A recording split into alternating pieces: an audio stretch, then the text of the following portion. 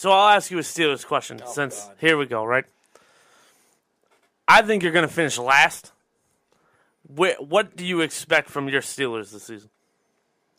I think they finish second in the division. I think the Browns take it. I think that the Steelers, despite the collective wisdom that's out there, that the Ravens are once again going to be once again going to be world beaters.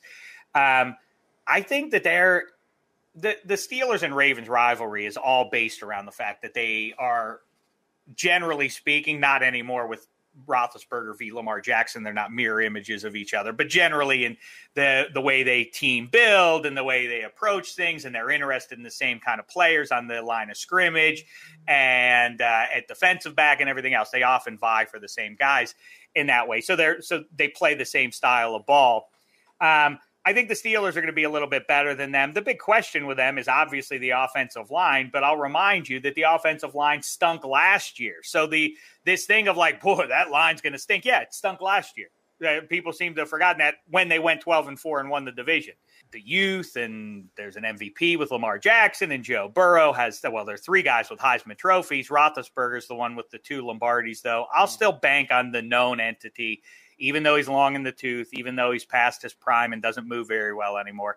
I'll stick with Roethlisberger and that roster going up against the Ravens and against the Bengals. I'm not trying to to uh, I, I get that the Bengals fans maybe have some op, uh, some reason for optimism, but are they going to win the division or something like that? No. Give me give me Pittsburgh. The one thing I, here's a good bet. The total on their season is eight and a half wins. I mean, they're going over that. They have an extra get 17 games this year. They've never had a losing season, Tomlin and Roethlisberger. So it's a good bet that they're going to go over that again this year. As you guys know, we are talking to the host of Minus Three podcast and NFL analyst Dave Dameshek. Now, Dave, we we were talking about Carson Wentz throughout uh, the last couple of weeks. Uh, he's injured. Why are we not surprised? But he will be back for the beginning of the season. With that division, everybody keeps talking about the Jaguars and everybody knows about Lawrence, but that offensive line's horrendous. I don't know how he's going to be safe. And, and he reminds me of Andrew Luck, a guy that they're not going to build their offensive line until maybe a year or two before he decides to retire at the age of 29. That's what it seems like is going to happen to a young Lawrence. But uh, looking at, division, at that division in Indiana, uh, Indianapolis, the, the way they've uh, really built that team defensively, uh, making the trades that they did last year to bring in uh, a defensive prowess. They have one of the best linebackers in football in Leonard. Uh, is there something that stands out to you this year if Carson Wentz stays healthy where they could be a Super Bowl contender? I usually don't worry too much about about. Oh, I'm sorry, I'm seeing something there. Excuse me. Uh, I've gone back and forth on is 2021 Carson Wentz an upgrade from 2020 Phil Rivers. I'm unclear about that. I mean, look at what you've seen though the last couple of years. Wentz has been bad. I mean, he he looked kind of good coming down the stretch. When was that? It feels so long. COVID really screws up my timeline now. If it was six months ago or six years ago, but he did have a nice little stretch down the end of a season a couple of years ago. But yeah, he was a, an atrocity last year. I do like that Colts roster quite a bit, and if they had a, a, a bankable QB, I might like them to challenge the Titans. But as it stands now, the Titans have the easiest path to a division title of anybody I can think of, with the possible exception of Aaron Rodgers in Green Bay. Um, the you know the Titans are not a flawless team, but they have a real good shot at getting the number one overall seed in the AFC because they should have four wins um, right out of the gate uh, with the Texans and Jags on the schedule. That's an incomplete roster that Herb and uh, Trevor Lawrence have around them. And uh, like I say, I like the Colts a lot, except at QB, ergo, Titans division to lose. I want to go back to the NFC West because you actually brought up the, fact that you like the Rams a lot. You another one of your hot takes that I saw on your Twitter was the Seahawks finishing last, which for a team that's been a playoff team, a consistent playoff team, and the one year they missed, they missed because Blair Walsh just all those mixed kicks that year and just missed on a tiebreaker. So. Why do you think the Seahawks finish last in that division despite all the stability? And if they do, is this the fallout for Russell Wilson and or Pete Carroll? Well, I think that's what it's about. I'm, I'm looking at that, and and I just said three minutes ago that Roethlisberger and Tomlin have never combined to have a losing season in uh, whatever it's been now for the two of them together, 16, 17 years. And the same thing applies to Carroll and Russell Wilson. The difference is that Pete Carroll and Russell Wilson seem to have some rift between them, and it's not a short one either. It's been like three years now since Russell Wilson and Ciara were talking about that they'd rather be in New York, and then they come back and they do all that stuff. And I don't love the defense in Seattle. I, I mean, I do love the pass catchers that uh, Russell has this year, but that West, like we say, is loaded. I mean, who who are they going to get past? If you are really down on Cliff Kingsbury, that would be the reason to pick against the Cardinals. They're an incomplete roster too, but I mean, man, oh man, they should be able to score. They should be able to shoot it out pretty good with just about anybody. And at minimum, they do have pieces on defense, and that's what it's all about in the 21st century for defenders now. Is the honey badger is the quintessential guy in that regard. It's about mm-hmm. takeaways and one or three special plays by your defense. Give yourself one or two more possession. Give your offense one or two more possessions over the course of the game. You don't have to statistically dominate. Just win the, as they say, the turnover battle, and uh, that's the most important. That's how the Patriots got the majority of their Super Bowl trophies. Well, also in, because they had the greatest quarterback of all time, but the defense while not statistically dominant a lot of the time, was turning the other team over. And that's that's basically all you need. I kind of like Chandler Jones and J.J. Watt and the pieces they have behind them, those young linebackers. Bringing up teams that have a rift with the quarterback, um, Deshaun Watson at this point, I, I would venture to say he has his suitcase already packed by the door. He's just kind of waiting to see what flight he has to take out of Houston. Do you have any kind of idea – where Houston's at? Are they still fielding phone calls? Are they telling Deshaun Watson he's going to be there for the foreseeable future? What is going on in Houston? Man, I don't know. I bet you he wishes he could take back. Well, I wish he bet he wishes he could take back a number of things. But uh, the uh, the stuff about like I'm done with Houston. I never want to be on the Texans again. I bet he laments having done that. It is crazy with the news cycle and everything else that this is one of the biggest stars who when the season was wrapping up remember around christmas time everybody's like poor deshaun we got we got to find a way to get him out there because in the 21st century shame the devil if there's a superstar who isn't in a perfect uh, situation. We must free them. We must liberate them for some reason. I'm not uh, clear on the reasons why that is.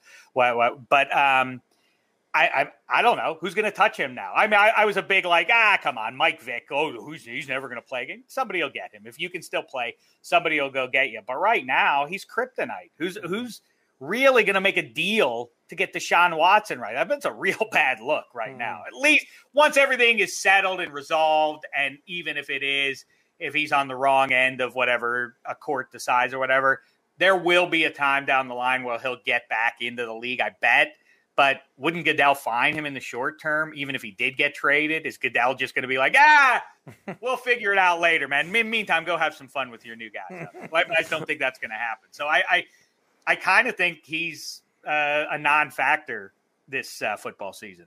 Really? Uh, I'm very surprised. We are talking to the host of Minus Three Podcast and NFL analyst Dave Dameshek. Now, everybody's picking Kansas City again. It, it, really blows my mind. Yes, not this guy. Uh, well, not you. uh, you've got the Chargers and you have the Rams, which I, I, am very surprised. And I, I've always rooted for the Chargers, not because they were from San Diego, uh, and that, I love that state, but uh, the fact is, is I, I, I really like Justin Herbert, and I, I think he's going to be the next seed of great quarterbacks that we are going to see in this league. But we look at Kansas City and how talented Kansas City is, the acquisitions they've made at the offensive line. Everybody was like going crazy when they decided, hey, you know what? I'm getting rid of my left tackle. I'm getting rid of my right tackle, and we're just going to do, we're going to bring in Thuney. We're going to move him to the tackle position. Then we're going to draft this guy, and then we're going to trade for Brown, and we're going to do all this stuff. And now we rebuilt this offensive line. It's a better offensive line. Are you surprised right now that everybody is picking Kansas City? And do you think Patrick, uh, and I've said this over and over again since Patrick Mahomes has been uh, drafted, as good as he is and as talented as he's looked on the field, do you think he's a little overrated with the talent that he has and Andy Reid standing right behind him uh, on that sideline? I, am not questioning his talent. Mm. Andy Reid is a play caller, mm. is great, all of that stuff. But, you know, once you start making 40 something million dollars a year, you corrupt the, the, the roster overall. And this is what why I keep saying about the AFC North, the greatest beneficiaries of Lamar Jackson and Baker Mayfield after this season, I'm guessing, will both get 40 plus million dollar contracts, will be the Bengals and Steelers. I mean, it's not good. The window, if you go back and look it up, um, in the age of free agency, guys, the QBs who win, even with Tom Brady and all the Super Bowls in year 47 for him. e- even factoring in Tom Brady's late stage career wins, um, and Elway doing a couple at his end, and Peyton getting that for, from a quarterback standpoint, a fraudulent victory in 2015. All of that, uh, that was the team winning, not him so much. The guys who win the Super Bowl are in their are in their second to fifth years as quarterbacks, and that's not a coincidence. That's because after year five, that's when they cash in that's when the roster um, goes south because you're paying your quarterback. And they're really, even though we call a lot of guys franchise QBs and all that stuff, a lot of guys are middle class QBs who in year five, six start getting paid like high class QBs. And Jared Goff has shown us, and Carson Wentz has shown us, and a lot of other guys have shown us.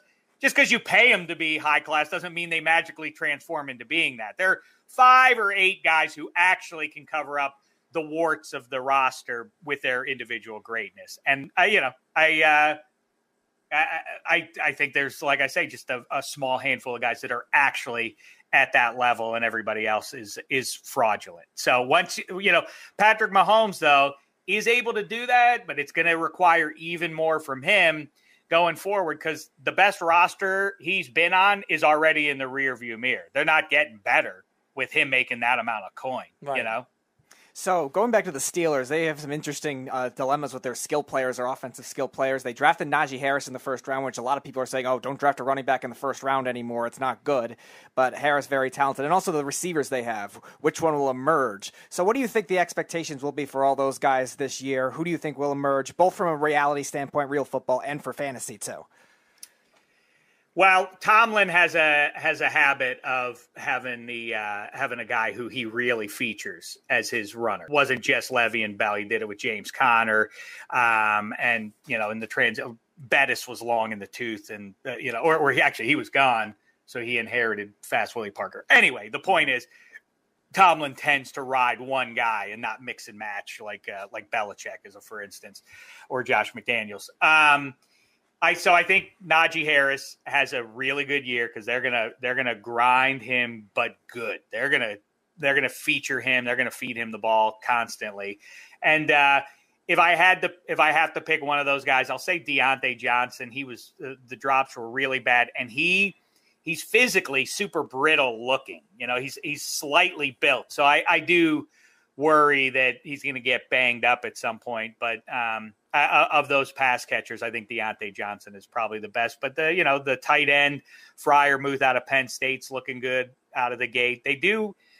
the question is, I know it's Roethlisberger, can he move and all of that, but I, I think at 39, he, he's good enough. The question is the offensive line, and until we see it, we won't know. We can we can say it's definitely going to be bad, but as I remind you again, it was bad last year too and they still went 12 and 4. Um, are they going to the Super Bowl? I'm not going to bet on that, but I think that they're relevant throughout the season.